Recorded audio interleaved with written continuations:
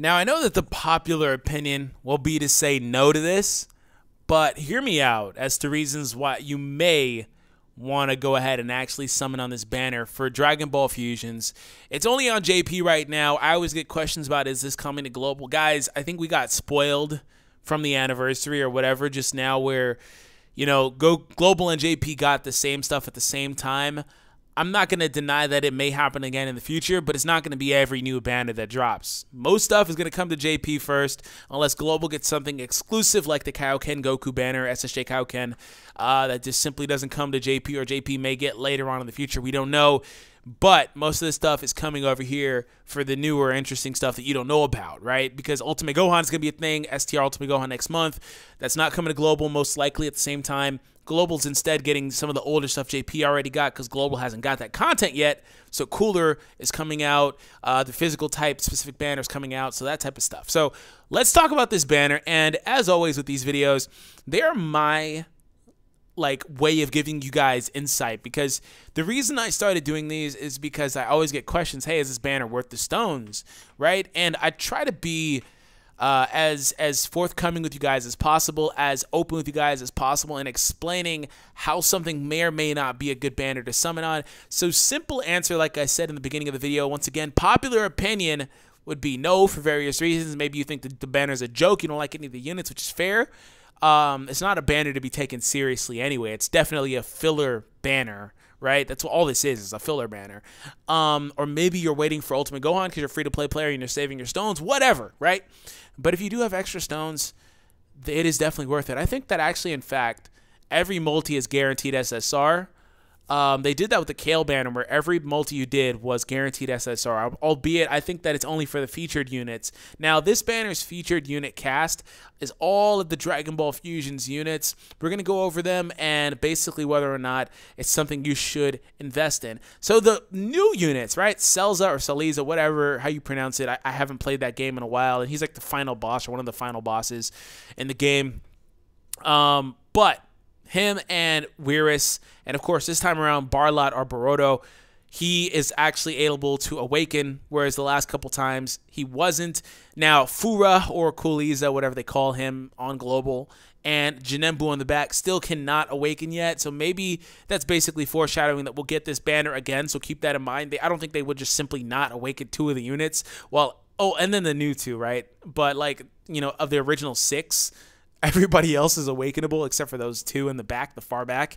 And they're actually pretty solid, to be honest. But the main prize from this banner, I was originally going to say, is Pandel.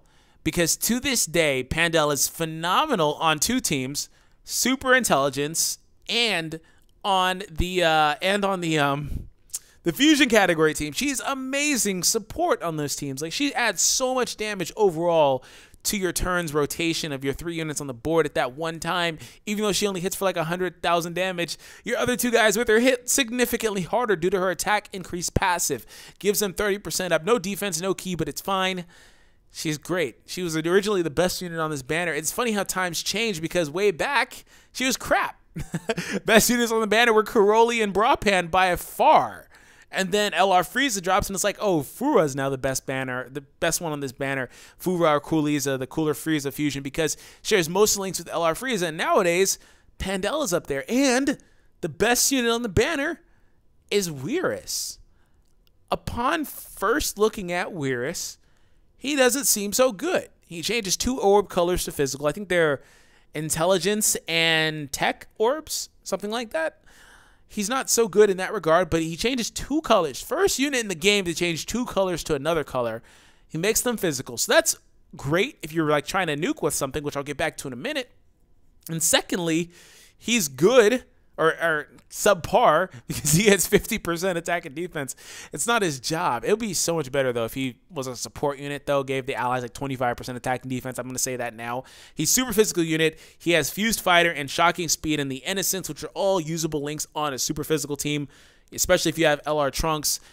This guy basically makes LR Trunks auto 24 key going to generate so many physical orbs for LR Trunks that he's going to get that almost all the time. Whereas if you've seen videos on that team pre Whirus, it's kind of hard to get LR Trunks to 18 key. Like you actually have to really manage it to get anything other than that little finish buster attack that he does or whatever it's called, the burning attack, uh, and actually get the one where he slashes in. It's kind of hard to do that with that guy because he has a good link set, but the rest of the team doesn't really cater too much to him. Like he shares one link with Go Gotenks SS3, then two links with Vegito Blue. It's kind of absurd, right? So this guy is basically good for that.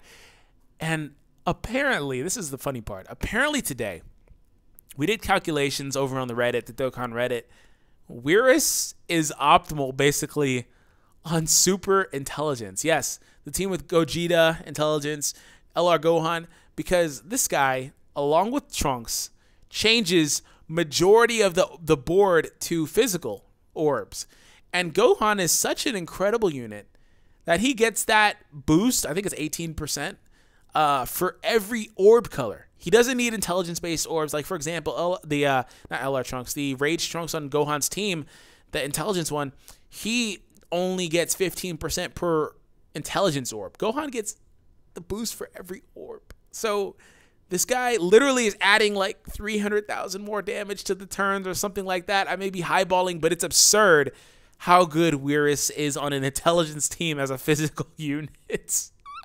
So Weirus is actually incredible. So keep in mind that with per multi, you're going to get one of these guys guaranteed. It's going to be the very last unit in your pull uh, they're the only SSRs in the banner, so you are guaranteed one of them if you ever get like a Shenron animation or seven pods or base form by guys, whatever, right? You're guaranteed one of these guys. Uh, Caroli's Awakening is pretty solid. Nothing to write home about. Uh, he's definitely solid, though. That's as far as I'm going to go. Fura is pretty cool. Chow Man at the bottom was one of the best AoEs in the game, like before the meta changed to nuking the World Tournament. So there's that. Janembu really needs an awakening. He really needs one. He's not bad, but he's definitely not as good as he once was. He's outdated at this point. Uh, the Cell Freeze fusion is, is pretty good. Weirus is definitely superior. That one heals and does damage, and you know he's all around jack of all trades unit. Uh, heals has a nice link set, but struggles to fit on extreme intelligence because that team doesn't really have a slot for him. Broadpan is a key support. She has the fusion category, but that team links already way too good. And the problem with Broadpan is she's only key support.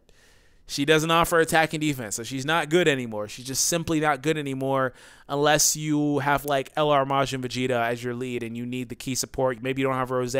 She's just simply not good anymore because she does supreme damage, gets no attack improvement, no defensive improvement, not to herself or to her allies. She's a filler unit, and that's it at best. And Boruto's Awakening allows him to get 15,000 or 15% more uh, attack per orb and 10% more defense per orb. Uh, supreme damage modifier. No fierce battle, still the rebirth link, so that does hamper his damage output. He does not have the best link sets, uh, the Barlet Baroto guy, but either way, sleeper unit for Super STR, 120% STR, Goku SS4 lead, or for this team here, uh, fusion category team. So keep that in mind. The banner is not all bad. It is definitely a filler banner.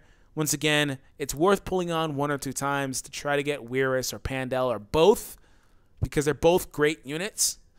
Um, everybody else is kind of passable though. So, anyways, have an awesome day. Thank you for the support, and I'll catch you guys in the next one.